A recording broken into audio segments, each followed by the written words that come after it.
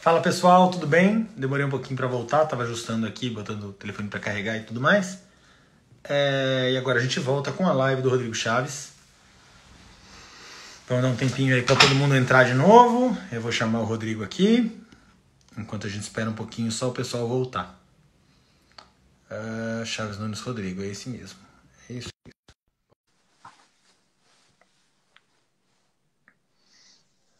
Cheguei! Chegamos, voltamos. É, bom, a gente parou a história. Você estava é, de volta, você estava voltando para o Brasil. Exatamente. E aí eu acho que a gente pode fazer uma pegada que é um pouco até você começar a ter seus principais cavalos. E aí a gente entra naquele bloco que eu acho maravilhoso, que é o bloco dos cavalos da sua vida. Enfim, tem aquele momento que eu acho bem legal. E a gente, para poder deixar espaço para as pessoas pedirem as histórias, eu acho que tem uma parte que eu quero falar com você que é muito importante, que é sobre cavalos novos. Eu acho que é uma, é uma discussão super importante que está surgindo aí no Brasil e que vem crescendo. E eu acho que você tem mais do que propriedade para falar do assunto. Então vamos lá, voltando para o Brasil, você volta e você volta para CAP. Para CAP. E logo no começo ali, eu voltei para CAP final de 2007. E aí, logo em seguida, já apareceu um Cleão na minha vida. Ele com seis anos, o Felipe Juarez, que era o cavaleiro dele, ali uns cinco anos. Na verdade, o Nicolas, que era o proprietário dele, saltou os quatro anos, o comecinho dos cinco, e aí ele montava lá no Jaú. E aí o Felipe estava tava no Jaú e ele passou o Nucleon para ele. E aí depois, é, nessa fase, o Filipinho teve problema de saúde e tal, e aí ele me indicou para eu montar o cavalo. E aí o Galeno Malfatti, que é o pai do Nicolas, pai do Gabriel Malfatti, armador de percurso. Aliás, um dos melhores da, do, da atualidade aí. Aliás, faz muito tempo que eu acho ele muito bom. Lá no Nashville, ele armou uma Copa Brasil que a gente fez no Nashville. Rapaz, cara deu uma aula de armação, de, de decoração foi ele transformou aquele lugar numa coisa linda. E aí veio no Cleon, que aí com seis anos, cara, eu montava ele só na prova. Às vezes eu ia lá no Jaú fazer um treino nele e, e o Galenão virava para mim e falava: Não, Rodrigo, pode confiar, deixa que eu trabalho e você salta na prova. E ele era um cavalo difícil, complicado de condução, não, mas extremamente corajoso, extremamente limpo e aí eu saltei os seis anos, ganhei a seletiva do Mundial de seis anos com ele. E eu acho que eu vou adiantar um pouquinho uma pergunta tua, qual a maior frustração da tua vida, né? Foi exatamente nisso, porque estava tudo certo para a gente ir para o Mundial, eu de mala pronta, tudo. E, cara, uma semana antes da gente embarcar, é, ligam para eles e falaram que não ia mais rolar sabe que não ia mais dar. Eles também traçaram uma estratégia que depois a gente viu que era ruim. Eles quiseram economizar um pouco ali na viagem, levar o cavalo em outro voo. E acabou que era, acho que era Varig, se não me engano, nessa época também fazia transporte de cargas. E aí adiaram, porque não tinha outros cavalos para ir junto, adiaram. E aí a gente tentou colocar ele no container da associação, mas aí já tinham preenchido o container com outro cavalo que nem tinha participado da seletiva. Sim. E, cara, eu sabia que eu ia ir muito bem com ele, ele estava numa fase incrível, a gente tinha um conjunto muito legal nós dois, e aí foi um banho de água fria, assim, viraram um, um container de gelo em cima de mim. Eu fiquei muito triste, muito chateado com isso. Eu nunca pensei, João, em parar de montar na minha vida. Nunca pensei mesmo. Mas nesse dia me deu um desânimo de ir atrás daqueles sonhos. Sim. Eu falei, ah, eu vou ficar dando aula, eu vou me dedicar ao comércio e não vou ir atrás desses sonhos de saltar o mundial, de saltar uma prova importante mesmo. Mas aí Deus é maravilhoso e aí, cara, com sete anos foi tudo acontecendo. Aí a gente resolveu não saltar mais dos cavalos novos, a gente tinha ficado um pouco chateado na época com a associação. Hoje em dia Eu, eu digo, eu vivo muito da associação, eu dependo muito da associação, é muito importante eles fazerem esses festivais da forma como estão fazendo, esses rankings de, de, de cavalos BH, é, é muito bacana, muito bacana fazer parte dessa história da evolução da associação. Eu acho que eu sou um dos caras que está ali ajudando a, a, fazer crescer esse esporte em geral. Trabalho para alguns áreas, para alguns proprietários, me dedico com muita seriedade a todos esses cavalos e está sendo muito bacana. Enfim, vamos voltar. Voltando. É, aí passou no Cleão, né? No outro ano eu saltei os sete anos com ele, foi bom. A gente saltou alguns mini grande prêmio e ele fez resultado em quase todos. Eu fiz vários pontos com ele, cara. Eu tenho um troféu eficiência 5 mil pontos, no qual eu acredito que a metade dele foi com o Cleão. a metade desses pontos foi no Cleão que me deu. Aí depois eu tinha um outro cliente, que tinha um cavalo chamado do Conan Borja também, que ali eu acho que começou a mudar minha equitação com esse cavalo, que era um cavalo extremamente clássico. O, o Luiz começou a montar ele, depois passou para o Ney Garcia. E aí, com sete anos, passaram um cavalo para mim. Eu estava na CAP ainda. E aí me dediquei muito sério no cavalo. Teve uma clínica do Neco, que a gente foi lá fora para fazer. E aí eu fiz uma amizade legal com o Neco. Ele me deu algumas oportunidades quando eu fui lá no manejo dele, com o Rodolfo Locoselli. Aliás, Rodolfo, muito obrigado pela oportunidade que você me deu foi o melhor presente de Natal, acho que na minha vida, foi ele ter me levado para a clínica do Neco. E, e, foi muito bom essa fase, assim, sabe? Daí depois ele veio para um indoor, eu estava saltando cavalo nos sete anos, eu acho que era. E aí, pô, eu tive a honra de ter o Nelson Pessoa na, na distensão comigo ali dois dias, reconhecer comigo. Então foi, foi muito legal. Foi muito legal isso que, que ambos me proporcionaram um momento incrível. Genial. É, uma pergunta que a gente, assim, a gente vai, obviamente, depois falar de alguns outros cavalos, mas você gosta de cavalo pequeno ou os cavalos pequenos que gostam de você? É, então, eu acho que é um imã, né? Rapaz, eu vendo o vídeo. Muito, é, quando eu era muito moleque, eu montei dois cavalos. Três cavalos que eu considero importantes quando eu era criança, assim. A primeira foi a Mandala, uma égua incrível de um Adão, de um, um gaúcho lá de Livramento, Adão Anselmo chamava. Ele montava os cavalos do Coronel Pelúcio. E aí teve uma fase que ele meio que parou de montar e falou: não, salta égua. E aí foi quando eu saltei em Porto Alegre, foi com a mandala, inclusive. Eu tinha 10, 11 anos ali. E naquelas provas de um metro, um metro dez, ele tinha rio, tinha tudo. tudo que coisa feia que você imaginar tinha naquelas provas. Era um teste de coragem, literalmente.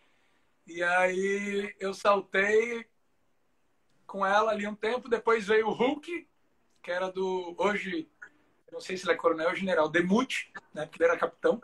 Capitão Demute. E ele me emprestou o Hulk, inesquecível. Muito obrigado, meu amigo Hulk. Foi o dono das minhas primeiras alegrias, assim, saltando 1,20m, coisa. E aí, junto, veio o Super Popeye. O Hulk era um cavalo tordilho bravo pra caramba, não? Não, não. Era um alazão, frente aberta. Que aí, cara, depois de anos eu fui descobrir que ele era cavalo de escolinha lá no sétimo RCMEC Livramento. E aí eu fui lá dar um beijo nele e tudo. Ele não lembrava, mas ele estava muito velho. Eu já tinha vinte e poucos anos. Mas aí veio o Popeye, o Sargento Guedes de Alegrete. Ele acho que nas gauchadas dele lá, ele teve um acidente, quebrou o fêmur e mandou o Super Papai para livramento. Quando eu tinha 14 anos. 94, começo de 94. Final de 93, começo de 94. E aí, rapaz, cavalinho disparava comigo, volta e meia numa prova ou outra. Meu pai não deixava eu botar. Não podia usar espora. Depois até ele deixou. Mas no começo não podia usar espora de jeito nenhum. E era bridão. Te resolve, se o cavalo não está bem trabalhado de bridão, então não tem condição de soltar prova. ele era bem exigente comigo, mas eu agradeço muito a ele, porque hoje ainda a maioria dos meus cavalos eu vou de bridão graças a esse ensinamento. Então, e aí o, o, o Adarino Guedes de Deus me mandou o Super Popeye, e aí, aí começou o primeiro pequeno. antes, antes ainda, teve o meu primeiro cavalo que eu saltei, que foi o Aragano, que era um criolinho, baixinho, que é esse que fez as minhas duas, três. Minha primeira prova foi com ele da minha vida.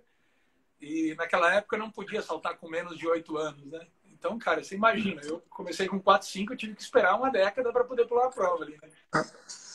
E aí até que eu pude saltar, era uma prova meio hunter, assim, tinha cavalete ao trote, é, você tinha que cumprir os lances certinhos, dentro da linha, dentro do composto, e era muito legal. E a prova era jogada, eu me lembro que a primeira, até os juízes me deram como campeão, meu pai subiu no júri, falou, não, não, não, não, bota ele como segundo, senão ele vai ficar se achando. E aí todo mundo vai, como? Ele foi muito melhor que o outro. Ele, não, não, mas eu não quero. É meu filho, deixa eu educar ele do jeito que eu acho certo. Então, foi o jeitão dele, eu concordo com ele. Foi muito bom. Todo esse bom, aprendizado. Um pouco depois do Nucleon, que enfim, foi um super cavalo, todo mundo acho que devia, que não lembra, devia lembrar ou procurar. Eu passei um vídeo dele aí, que depois acho que você devia inclusive postar é, no uhum. seu stories ou no seu feed é, veio a outro, e você ganhou, realizou um sonho que você contou um pouquinho no outro pedaço da live, que ganhou é o carro, carro.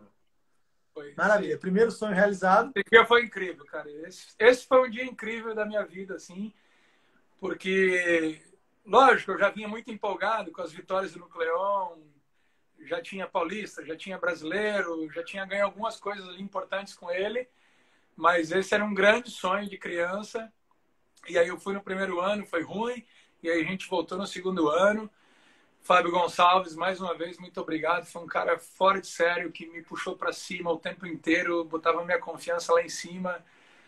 Nesse concurso, cara, pra você ter ideia, tava o, o Denis Gouveia saltando a Nantes. Ele foi para Copa do Mundo, tudo. Nantes, né? E, Nantes. É.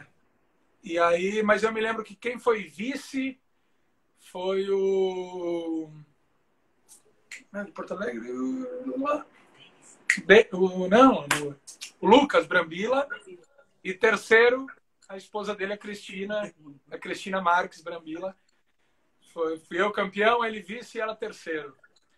E aí, cara, eu saí da pista, juro pra você, nem eu acreditava muito.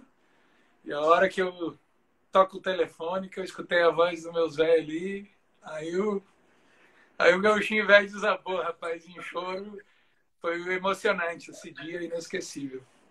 E aí veio, depois veio o Conomboy, que foi uma fase legal, mas que a gente não teve vitória.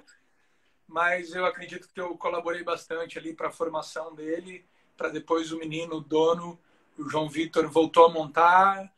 E, cara, ele também realizou os sonhos dele com esse cavalo, saltou o Júnior, o brasileiro de Júnior, saltou Young Rider, se não me engano, foi mega bem. O cavalo virou sensação na época. Acredito que foi um dos primeiros bons cavalos que eu iniciei assim, que a gente vê o resultado depois com, com outro, né? Com um amador ou com um moleque desses se formando. E aí, aonde ainda, eu ainda estava na CAP ali que apareceu o Rafa Ruese na minha vida. E aí ele montava na Santo Amaro, o pai dele estava doente. Um dia o pai dele chegou em mim e falou bem assim, cara, eu quero que você... Eu vou morrer, Rodrigo. Infelizmente vai acontecer isso, eu tô com câncer, blá, blá, blá, blá. E eu quero que você seja uma referência para o meu filho. Eu te observo há bastante tempo. Você é um cara bacana, você é um cara legal. E eu quero que meu filho monte com você. E aí eu falei, ô louco, a resposta é essa. Eu falei, não, negativo, nem me conheço direito, muito menos o moleque. Eu achava o moleque meio metido, meio nojento, né, cara? E aí comecei na Santa Mara, ajudar ele com SL soberbo.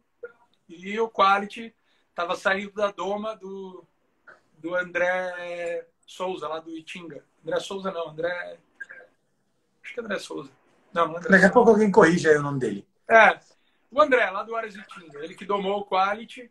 E aí veio na Santa Mário, fez uma provinha de 90 no, na sexta e fez uma provinha de um metro no domingo. No sábado, eu acho. Ele falou: Bom, o cavalo tá pronto, tá domado, tá empistado, agora é com vocês. E aí foi bem na fase que eu acabei saindo da CAP e voltei para Atibaia. Fábio Martins, André Martins. André Martins, isso aí, desculpa. Exato. E aí voltei para o Nashville. E aí o Quality acabou indo comigo, era o comecinho dele, foi muito legal.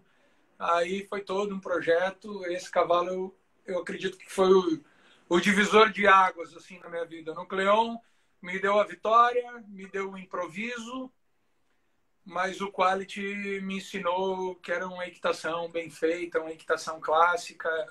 E aí cada vez mais eu buscava montar bonito, montar correto. E o Rafa não tinha pressa nenhuma, fala, cara, vamos fazer o cavalo com todo o tempo que precisar. Tanto é que a gente não saltou quatro anos, com cinco anos ele fez duas provas, com seis anos ele fez umas três ou quatro provas. Aí com sete anos a gente fez umas cinco, seis provas. E aí com oito anos foi um ano que eu quis mudar umas coisas, que testar embocadura e não sei o que. Ele meio que deu para trás. E eu falei, não, vamos voltar porque dava certo. Quero um bridãozinho simples na boca mesmo. E aí foi o ano, começo dos nove anos dele que eu consegui fazer os meus primeiros grandes prêmios importantes. Esse aí foi a Copa São Paulo.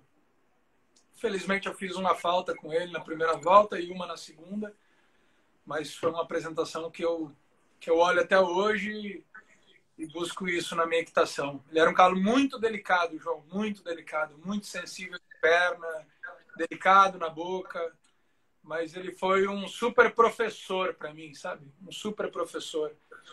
E aí eu fiz alguns resultados com ele, ganhei a seletiva do Mundial de sete anos com ele. É, ele saltou muito bem os cinco, os seis, os sete anos.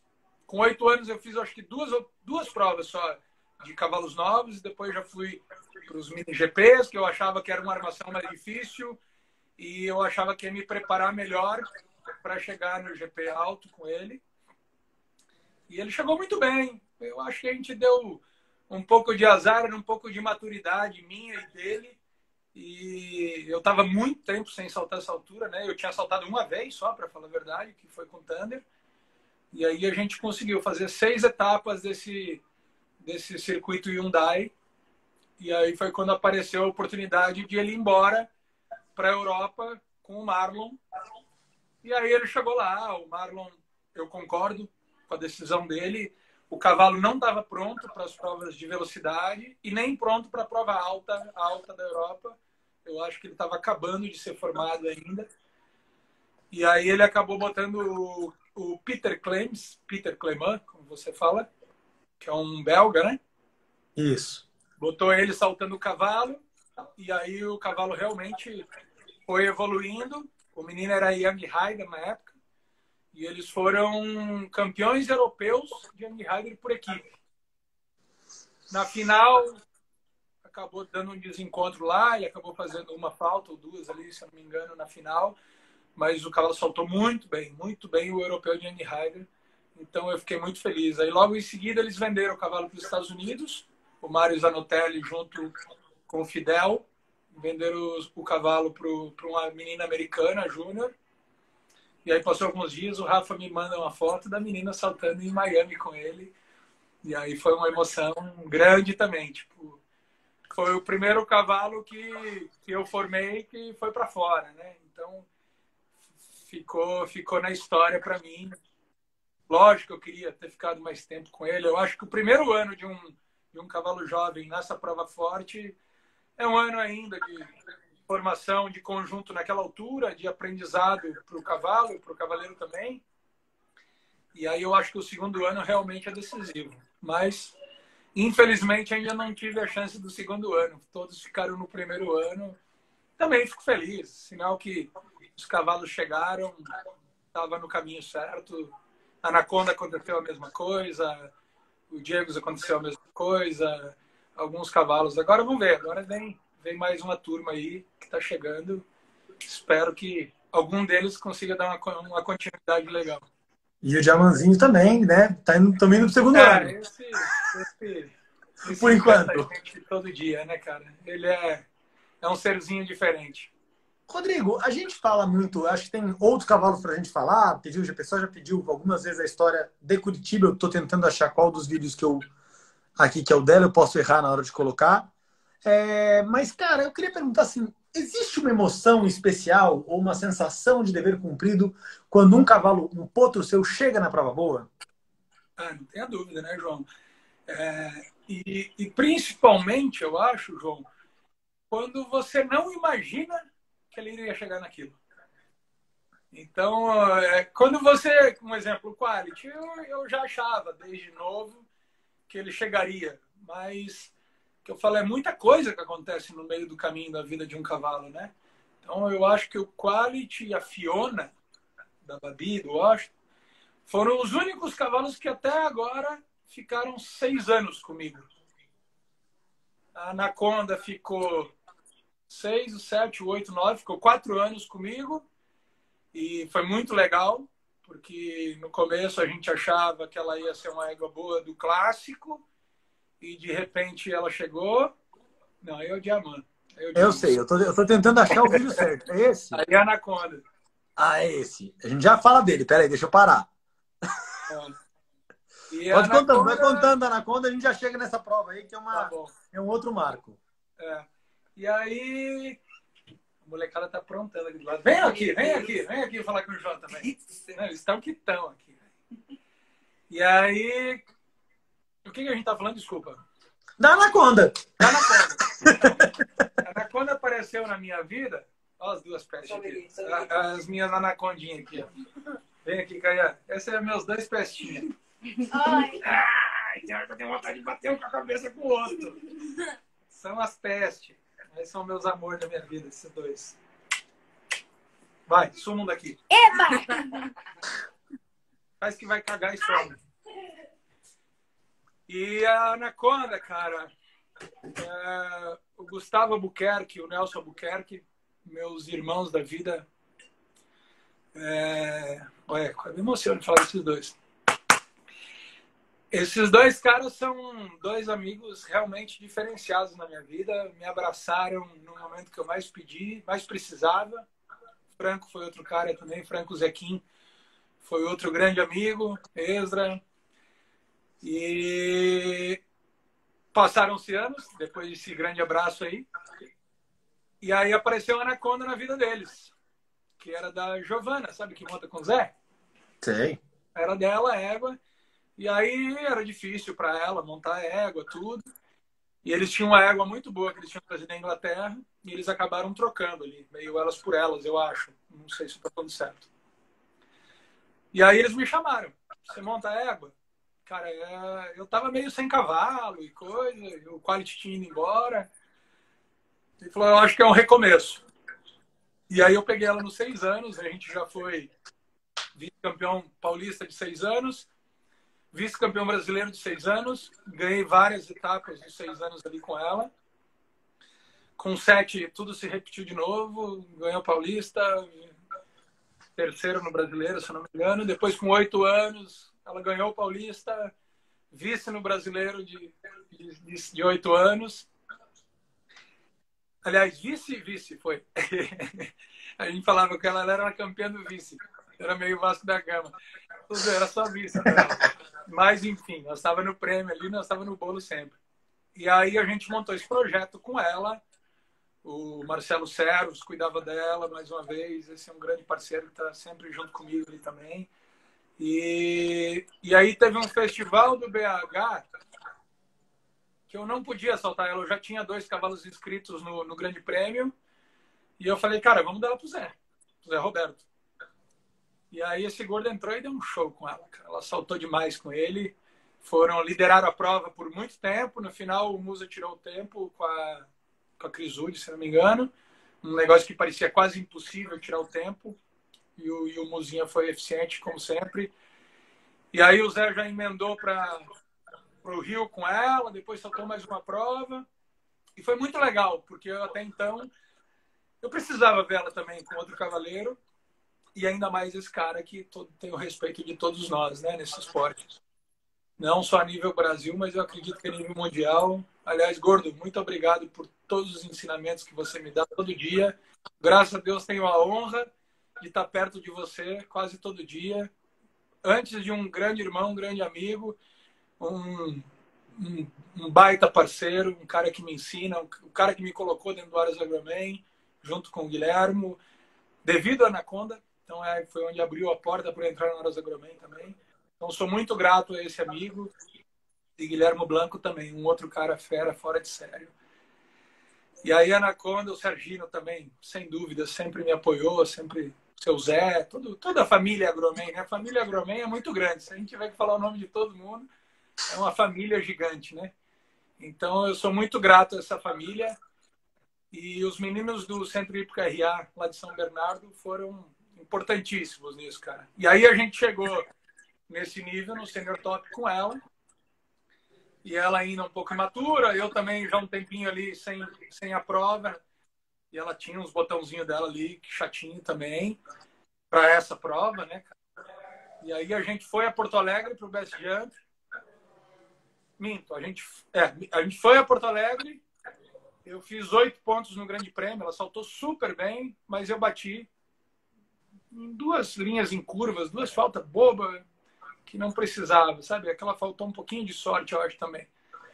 E aí classificavam nove, se eu não me engano, para a segunda volta, eu fiquei em décimo. Aí a gente foi para Curitiba, classificavam 12 para a segunda volta, eu fiquei em décimo terceiro. E aí no outro dia tinha o clássico, nós estávamos ali com os nove pau já devendo, tendo que pagar aquilo, cara, e a gente profissional, né, cara, trabalhador aí, a gente corre atrás pra caramba, não é fácil tirar nove pau do bolso e jogar no lixo, né? Aí eu virei para eles, eu falei, Nelsinho, bola, vocês deixam pular água no clássico? Eu vou, eu vou para cima, cara. E, cara, esse dia ficou uma prova absurdamente rápida. Se você me perguntar, João, qual a prova de velocidade mais importante da tua vida, sem dúvida é essa. Essa linha do 1 por 2 eu tirei um lance, aí tirei um lance de novo. Aí eu fiz o mesmo número de lances. E, cara, deu uma gritaria. Ela virou bem rápido. Eu só dei uma olhadinha pro chão, eu vi que eu estava no menor traçado. E aí eu fui o único que virou por dentro, aí, antes daquele laranja. E o Zé só gritava pra mim e falava, vai, vai. E o Miranda gritava, vai, vai. Eu tirei um lance de novo, que a tadinha quase caiu depois desse vertical comigo. Mas essa égua... E, cara, parecia um dia impossível. Entrou Renato Junqueira, botou um tempo absurdo. Entrou o Artemos com o Cacileiro, botou outro tempo absurdo. Entrou o Musa, baixou mais um segundo, tipo, não tinha mais para onde ir, cara. E até engraçado, eu brinquei com o Musa no dia. Posso contar, Musa? Não liga, não. O Musa veio largou na distensão, né? A capa do Aras, que ele estava representando em cima de um obstáculo de extensão. Pô, tava eu mais dois ali, aquecendo. Eu falei, ô campeão, a prova não acabou, não, hein? Virei pro meu tratador, eu falei, rapaz, hoje eu morro. Mas que eu vou tirar esse tempo, eu vou. Eu tô saindo da pista, vem André Miranda, que é outro, um grande gênio que me ensinou muita coisa, um cara que me deu um super apoio no Quality, eu acho que foi ele que deu a, a virada ali, eu com o Quality, de, de me ensinar sobre parábola, de dar mais espaço para o oxígeno, para o cavalo poder ganhar vara de saída, ganhar cobertura. Porque às vezes ele faz, com oito anos ele fazia umas faltinhas de barriga na vara de saída, dava um toquinho bobo. E ele me ensinou muito. E aí, cara, eu, eu chego mirando e falo, Rodrigo, é tudo ou é nada. Eu tô chegando na porta para entrar, o Zé falou, velho, regaça, regaça. Vai tudo que pode, mais um pouco, porque tua égua é muito mais lenta que a égua dele. Que era aquela pequenininha, como chama? Lara Império Egípcio. Lara Império Egípcio. Rapaz, ele é um canhão, ele tem dinamite nas patas, né? E aí ele falou: você tem que tirar um lance do 1 por 2, tem que tirar um outro lance do 2 por 3 e vai, vai, vai, vai, para de ir, mas tem que virar por dentro, antes do laranja. E aí deu tudo certo. É aquele dia que dá tudo certo, né? Às vezes você faz uma falta boba e você fala, putz, né? Não era teu dia, não era para ser. E quando é o dia, é o dia. E foi incrível. E eu sou muito grato, cara, a todos esses caras que participaram disso, a tratadora, toda a equipe que participou para mim foi saiu uma mala de dinheiro que eu tenho que voltar para casa para pagar. A gente conseguiu pagar a conta aí com essa vitória, foi muito legal. Rô, é, eu tenho certeza que, de novo, tem vários outros cavalos que foram importantes, tem o próprio Diego que tem, porque eu até tenho gravado a prova das seis barras, mas se a gente for parar para falar de um por um, a gente vai ficar só falando dos cavalos que você montou na vida, que olha, passando um a perna, hein? É, eu, vou, eu vou, claro, pedir para a gente falar de um cavalo em especial, para daí eu entrar naqueles momentos que são os temas que eu quero discutir com você, para a gente poder andar também com. é, saber um pouco do que você pensa e não só do que você fez. Eu acho que é um pulo do gato muito interessante. Mas não dá para não falar dele. Eu acho que esse cavalo, se não tem já hoje, ele vai ter um fã-clube inteiro no Brasil. É... Claro que o Nucleon também era mini. Sem dúvida. Mas... E o Nucleon fez muita coisa depois, né? Com o Renato Rodrigues. Mas a história desse cavalo é muito legal e, e o conjunto que vocês têm impressiona. E aí ele te deu também um dos seus, talvez, seus títulos, títulos, títulos de campeonato é, mais relevantes, que é campeão paulista de sênior ano passado, que é. é a fera, o fenômeno, e eu espero que eu tenha acertado verdade, o vídeo. É, na verdade, eu ganhei primeiro com a Anaconda, né? É verdade, você foi campeão de sênior com Anaconda. E aí eu fui ser, fui ser bicampeão com, com ele, que foi bem difícil, porque acabou que a prova ficou bem disputada. Eu fiz o primeiro dia na caça, eu fiz uma falta, mas eu tinha ido muito rápido. E aí eu estava em segundo. No segundo dia eu fiz 0 e 0. E aí a gente foi para a final. Eu, Artemos e Cezinha a menos de uma falta, todo mundo. E aí o Cezinha entrou, fez zero com aquele cavalo pampa da, da Kika. Quatros Boy. Quadros Boy. E entrou o Artemos com o Cacileiro e fez zero também. Então eu entrei na pressão, né, cara? Eu, eu tinha direito a um ponto de acesso, mas que com esse rato aí é quase impossível conseguir fazer um ponto de acesso. e ele saltou muito bem, cara, muito bem. Foi um dia incrível, incrível, incrível mesmo. Muito obrigado, Felipe, que é o o proprietário do, do Diamant, é, toda a equipe, a Bruna, o Robin, Zé, todo mundo que estava ali presente, Marcelo Servos, toda a galera, o Stal Referência, lá o Sérgio Capuano, um grande amigo, um grande incentivador meu. Nós estava todo mundo junto ali e deu tudo certo, cara. Foi aquele dia que deu tudo certo, era para ser. E tá aí o pequeno fazendo as coisinhas dele, né? Eu, quando eu comecei a montar ele no final dos cinco anos, eu achava que, beleza, ele pode ser campeão dos seis, né? Aí com seis ele foi bem, classificou em algumas provas, e aí com sete ele deu um, deu um, um start nele ali. E aí eu já comecei a fazer. Com seis anos, cara, ele quase ganhou a final do ranking da Paulista ali, o mini grande prêmio. Ficou muito rápido. E eu vinha tirando tempo e acabei batendo no último. E depois, com sete anos, já algumas provas, ele já fez alguns clássicos. Eu falei, ah, ele vai ficar nisso, vai ser um galo de 1,35, rápido, ganhador na de 1,30. E aí ele foi indo, ele foi indo, ele foi indo. Como o Sérgio está falando, ele é irmão do Ludan. São filhos da, da mesma mãe, só muda o pai, criação do Ara Santa Helena lá. E, cara, ele foi chegando.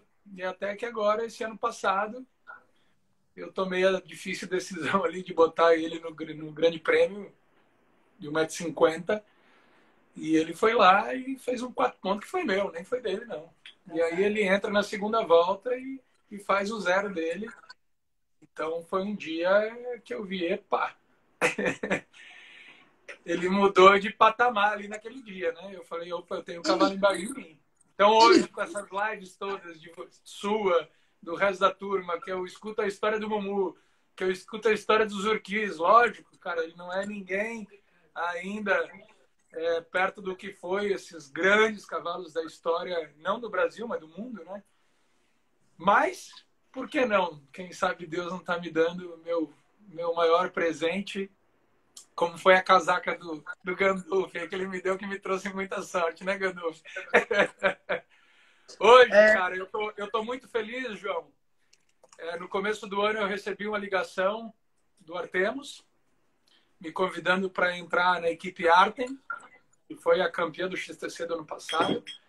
É, foi muito inesperado isso para mim, juro para você, embora eu tenha uma grande amizade com o Artemos, a gente trabalha junto no Aras Agromen. Mas eu não esperava ser escolhido. Eu estava no ano passado na equipe do Avelino.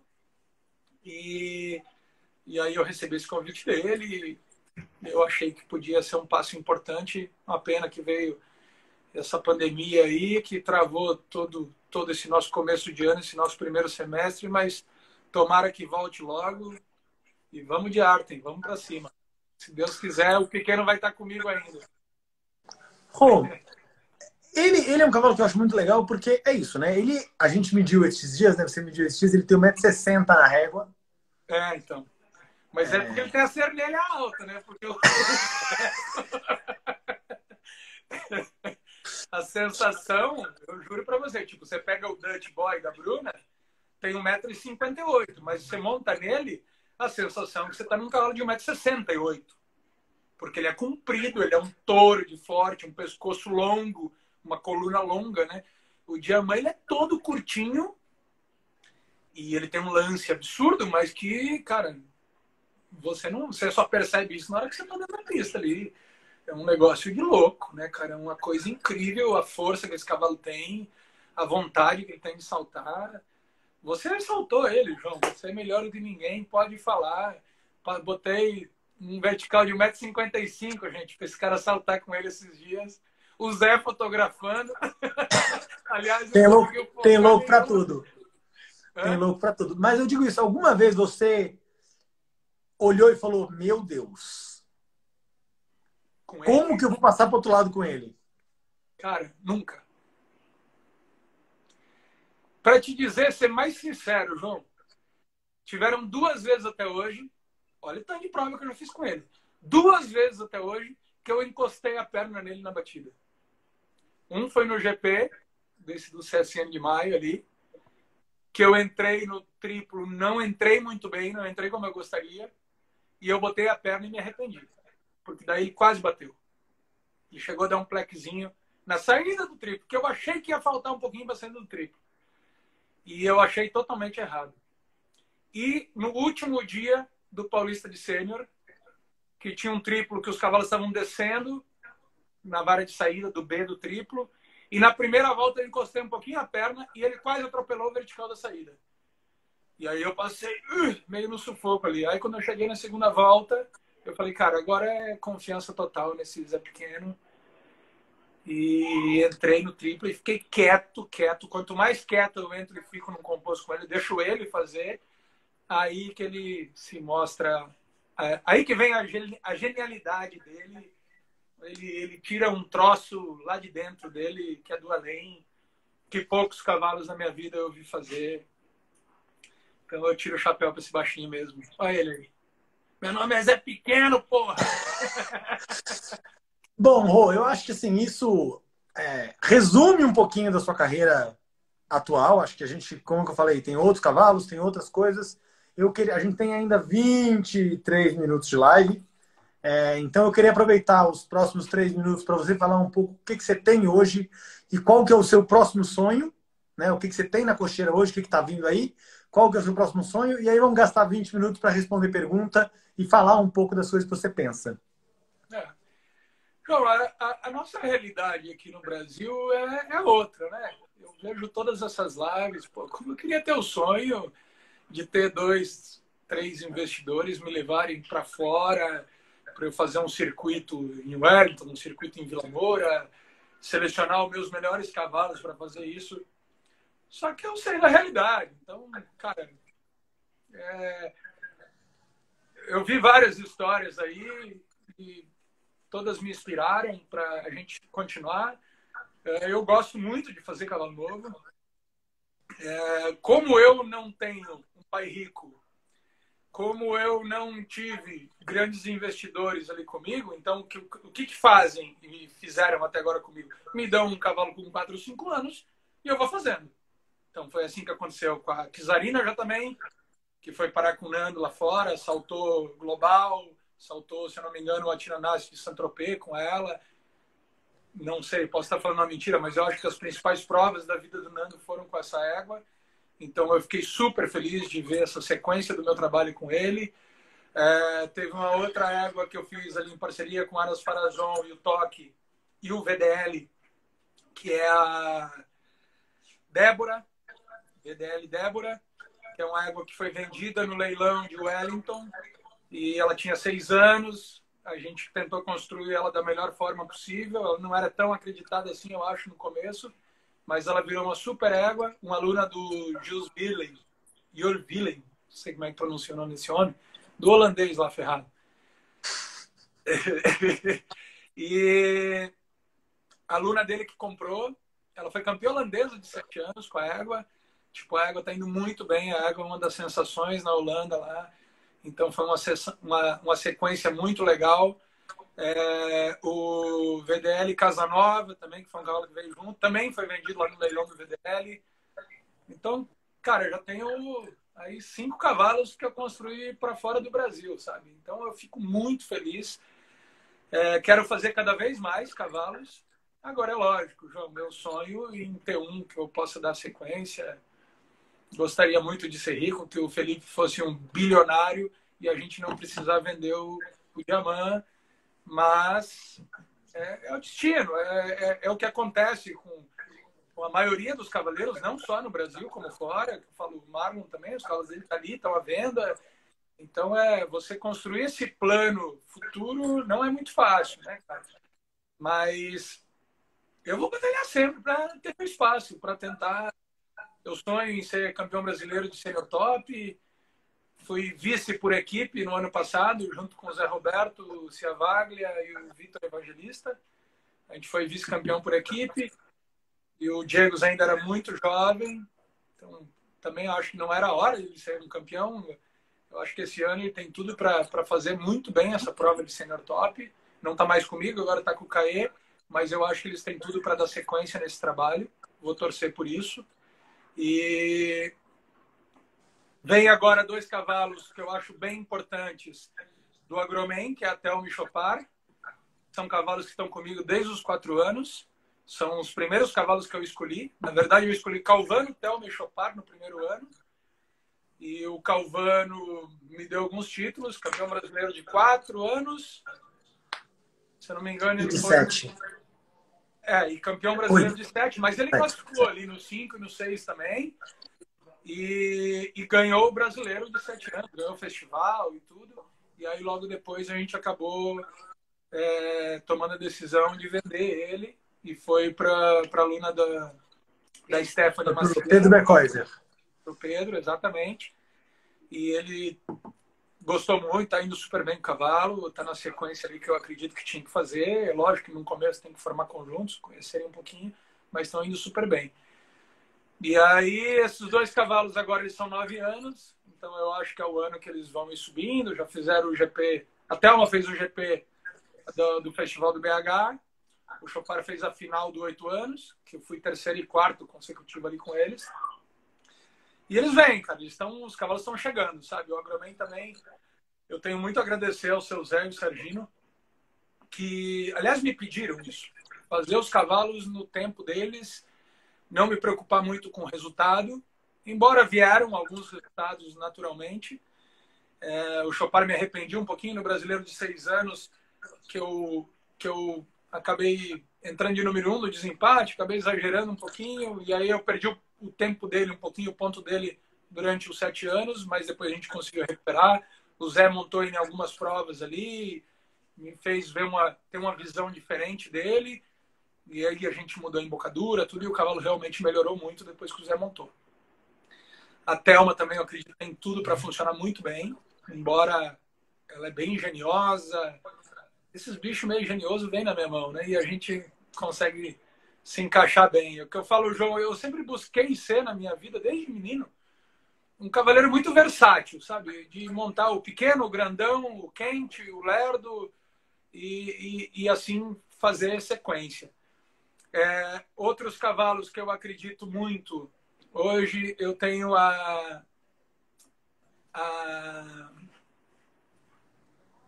Rihanna, do, do Aras Farazon, do Toque, que é uma égua que a princípio ela não está vendo, a gente vai fazer carreira, até porque ela deu muito bons filhos. É uma, uma linhagem sensacional, ela é balobena, um égua em dourado, que é uma das melhores linhagens do VDL. Você teve esse dia no toque lá com a gente, você viu ali alguns filhos dela, então é, é uma égua que promete bastante. Embora ela está muito imatura ainda, agora vai ser o ano de oito anos dela. Ela está muito jovem, como teve esse negócio muito de reprodução com ela, então eu não consegui dar uma sequência tão boa com ela assim. Mas eu acredito que agora, daqui para frente, meu patrão Rafael Gouveia Júnior e o seu Dudanói vão me deixar me dedicar um pouquinho mais. A gente está com um plano, quem sabe, trazer ela para Santo Amaro, para eu poder ter uma, uma dedicação diária. Porque eu acho que, tipo, a maioria dos áreas que eu vou ali duas vezes na semana, os cavalos até uma idade, João, até os seis, dá para a gente levar com, com bons picadores ou com um bom parceiro, como eu tinha no Ipiranga, com o Fabiano ali, como eu tenho em Atibaia, no Farazon, com o com o Glória, com o William, nosso pastor, eita Glória, e o Lucas. Então, os caras conseguem dar uma sequência legal nos dias que eu não estou. A gente faz uma programação de trabalho para os caras. Mas quando chega nos sete anos, dali para frente tem que ter o conjunto, tem que ter a dedicação, tem que ter essa coisa da cocheira de você chegar e o cavalo relinchar para você. E o, o amor tem que aumentar. Não adianta, porque senão ele não vai se doar para você da mesma forma como deveria. Então eu falo muito. A Nina é um grande exemplo para mim.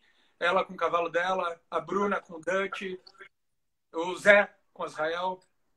O cavalo amar a pessoa e você passar esse amor para ele, você vai ser retribuído, cara. Não, não tem como o cavalo não se doar para você lá dentro da pista. Ah, vai ter um dia ruim? Vai, óbvio. Qualquer coisa na vida vai ter um dia ruim. Mas essa, essa, essa coisa da, da, do convívio é muito importante, né? E aí, eu tenho hoje o, o Aras do Drosa, que também eu aposto muito no, no, Roberto. Eu acho que é um grande incentivador. É um cara que veio agora no festival, ganhou tudo.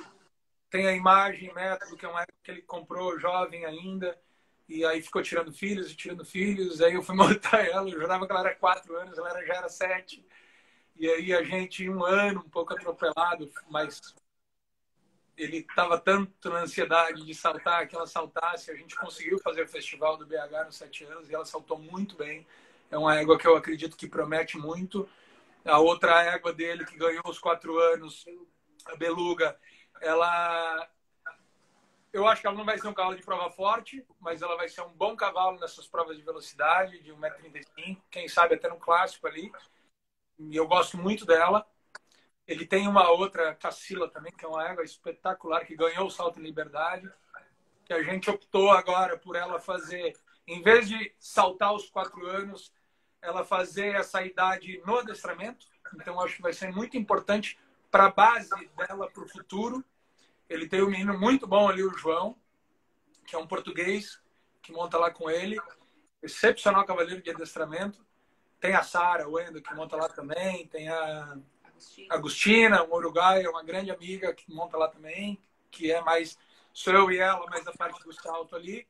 E a Sara Wendel e o João e a esposa dele, que eu esqueci o nome agora. Enfim, já lembro. Eu sempre lembro.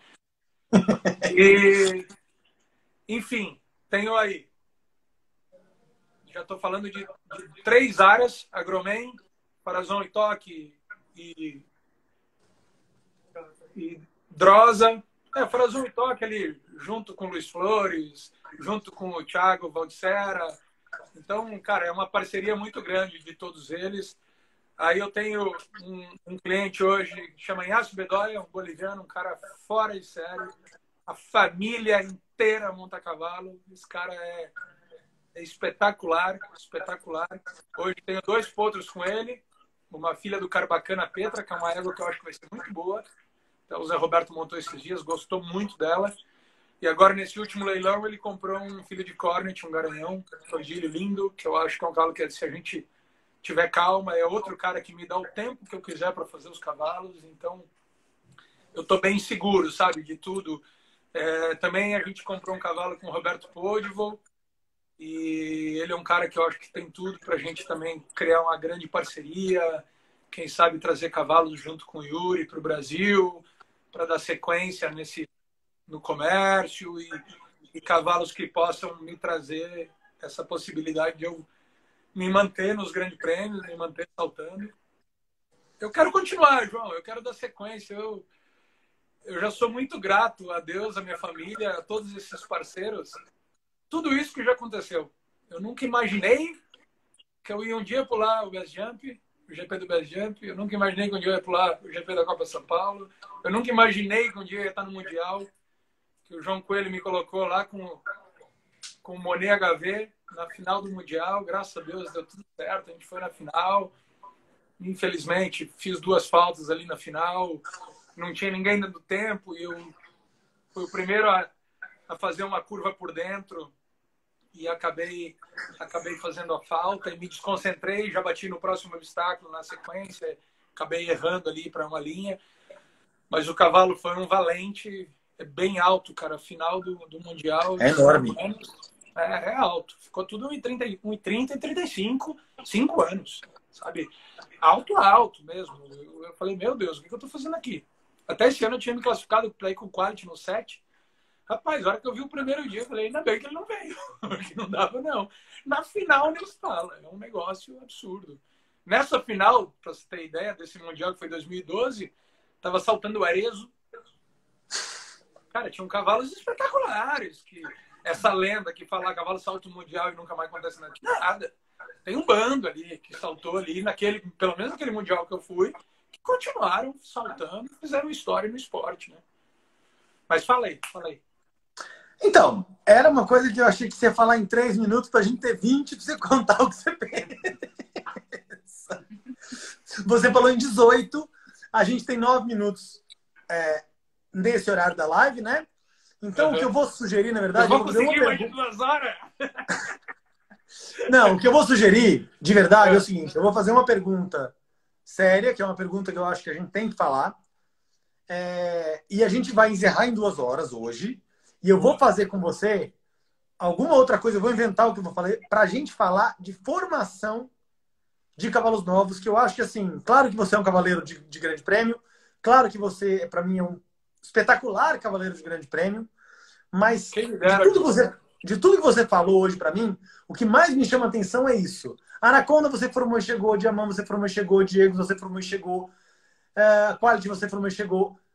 Alguma coisa você está fazendo certo no seu começo, porque os cavalos estão chegando. Thelma e Chopard são muitos cavalos que você pegou com 4 anos ou 5 anos. Ciro Bolenski, isso aí vai chegar. Mas agora já não vai ser mais comigo, agora vai ser com, com, com o patrão.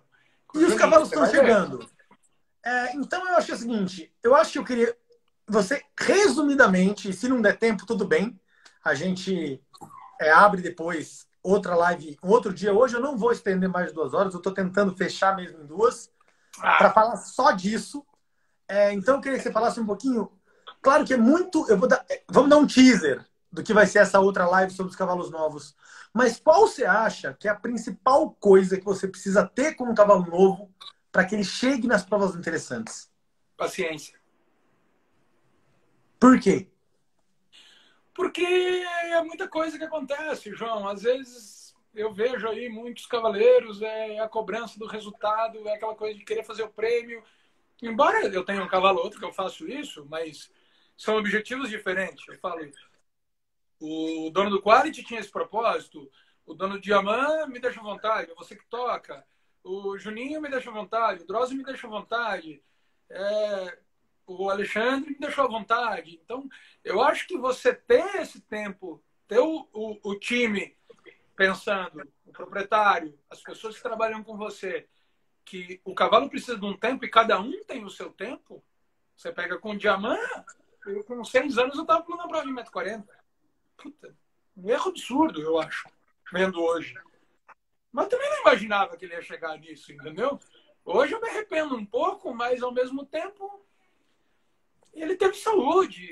Eu falo, a principal coisa é você saber manter a saúde desses cavalos. Porque não adianta eles quebrarem no meio do caminho. Então, graças a Deus, eu consigo manter os meus cavalos saudáveis. Primeiro, porque eu salto pouco, dou muita importância ao trabalho de condicionamento físico, muita importância à parte de trabalho de plano, embora nem todos são tão. Volta e meia tem um que é mais especial, como é o Diamante, como é a Thelma. Então, são cavalos especiais que você tem que fazer um outro tipo de trabalho. O Diamante, eu não posso ficar ali trabalhando, fazendo aquele trabalho de varinha com ele Ele só vai se irritar com aquilo. Ficar fazendo trabalho de ceder a perna com ele. Ele não gosta, velho. Ele não gosta. Ele gosta de saltar. Então eu tenho que dar condicionamento físico para ele, fazer um trabalho para ele relaxar, para ele ficar o mais calmo possível. Então eu fico, é engraçado. Tipo, aí você fala, ah, mas você não faz trabalho de plano com ele? Faço. Eu faço muito contra galope com ele. Que ele galopa calmo. Ele, tipo, ele já sabe que não vai ter nada então ele fica ali. É um troço que fortalece muito a musculatura dele, tudo isso ajuda. Então cada um é cada um, cada um é cada um. Cada ser é um ser. E essa é aquilo que eu te falo. Você tem que ser eclético. Você tem que saber executar o que o cavalo está te pedindo. Tem aquele que precisa de uma rédea auxiliar, beleza? Tem aquele que precisa de um trabalho de guia, beleza? Cada um é cada um. Maravilha. Não vou, gente, eu não vou estender de duas horas. Eu já estou na minha ideia. Chato, já estou já, já tô com ideia do que a gente vai fazer. Vai ficar mais legal, vai dar mais certo. Eu já vou me despedir da galera, porque eu acho que a live vai cortar com o que eu vou te pedir agora. Então, é. gente, obrigado. Amanhã, obrigado, seis da tarde, aqui no Brasil, a gente fala com o Felipe Amaral para contar a história dele. Estejam aí. E para a gente se despedir dessa live, que foi uma delícia. Isso, pelo amor de Deus, pega a viola. Eu agradecer as pessoas. Pega a viola e toca uma. Pode desaparecer, uh! mas agradece em um minuto. Eu Ou faz um muito a minha equipe toda. Eu não vou falar nomes, mas a Bru em especial, que além de minha mulher, é meu braço direito, esquerdo, minha perna direita, minha perna esquerda. É, cara, toda a equipe de tratadores, eu amo cada um, são meus irmãos, meus amigos, aos proprietários que investem, que acreditam no meu trabalho, Fran, Anderson, Gi, é, todo mundo, Juninho, Babinho, um grande beijo para todos. Deia Dias, uhul! Viva Andréia Dias! Essa vai ser campeã olímpica ainda. Então, cara, obrigado a todos. Eu vou, eu vou tocar uma música que, que eu acho que ela, ela faz parte, cara, de bastantão assim da história. Cadê? Não dá para baixar um pouquinho esse negócio? Só para aparecer o, o banjo que o velho Chaves ele pegava lá para mulher. Não, é só tirar o de baixo. Eu vou filmar. É. Rodrigo Chaves, três minutos. A gente tá no desempate. Ela diz assim: Eu já toquei para alguns amigos, mas ela se resume, eu acho que a, ao meio hípico. Todos esses cavaleiros que estão aí. Fiquem quietos, vocês dois. Seus peste. É, se resume, eu acho que a, quase todos aí são eu, eu considero não só eu, mas a maioria aí, heróis da vida, ela diz assim, ó, quem foi que falou que eu não sou um moleque atrevido? Ganhei minha fama de gama de toda essa história. Fico feliz em saber o que fiz pelo hipismo, me faz favor. Respeite quem pôde chegar onde a gente chegou. Também somos linha de frente de toda essa história. Nós somos do templo do hipismo sem gana e sem glória. Não se discute talento, nenhum argumento me faz favor. Respeite quem pode chegar e a gente chegou. E a gente chegou muito bem, sem desmerecer a ninguém. Enfrentando no peito certo preconceito e muito desdém. Hoje em dia é fácil dizer que o cavalo é a nossa raiz. Tá chovendo de gente que fala de piso e não sabe o que diz. Por isso, vela onde pisa, respeite a camisa que a gente suou. Respeite quem pôde chegar onde a gente chegou. E quando chegar no picadeiro, procure primeiro saber quem eu sou. Respeite quem pôde chegar onde o Brasil chegou. Valeu! Rodrigo Chaves, muito obrigado pelo seu tempo. Muito obrigado pela live. A gente combina obrigado, essa semana. Irmão. A minha ideia que nasceu aqui agora, nesse dia. Lucky you! Viva Lucky you! E brigadão aí todo mundo que assistiu. Calu, muito obrigado! Hater, muito obrigado pela ajuda de sempre. A todos os nossos patrocinadores, né, João? Não vamos esquecer deles. que A todos eles.